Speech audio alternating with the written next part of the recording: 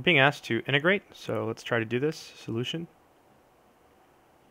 It looks like u substitution is the way to go, because if we set u equal to 3 plus cosine x, then du, well, the derivative of 3 is 0, the derivative of cosine is negative sine,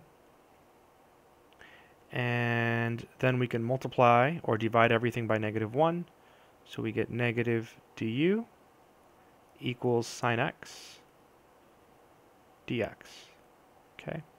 And now we're going to carefully make the substitution. Now, how did I know it was substitution uh, just from looking at it right away?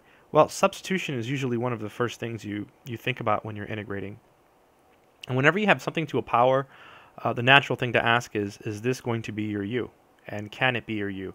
In this case, it is. If this is your u, then we see that we can come up with du, or we can come up with the numerator rather, right? This, in a convenient way. So this whole piece here, this is negative du, and this piece here is u. So we'll carefully make the substitution. So this will be negative du over u squared. You can pull out the negative 1 and bring this upstairs, write it in a way that lets you integrate. Okay. Now we'll use the power rule. So this is equal to negative u. We add 1. So 1 plus negative 2 is negative 1. We divide by negative 1. Right? You add 1 to this number and then you divide by it. Plus c. This is equal to, well, negative and negative is positive. Right? We have two negatives.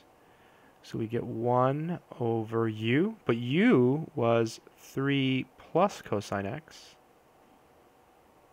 And then we still have our arbitrary constant plus c. And that's it.